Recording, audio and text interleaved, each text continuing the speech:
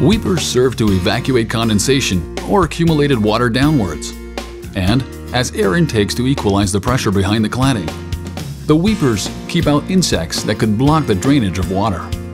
These weepers are made of polypropylene foam and must be installed at the base of the walls and top of openings, at a minimum of every 24 inches and a maximum of 30 inches center to center. Install these weepers between the base of the units and the foundation, or between the base of the units and a starter strip, but ideally opposite to the water drainage slot. It is recommended that, for a large section of a wall without openings, you install a weeper at the top and in the middle of the wall section to equalize the pressure behind the cladding. Expansion joints are as necessary as for conventional masonry.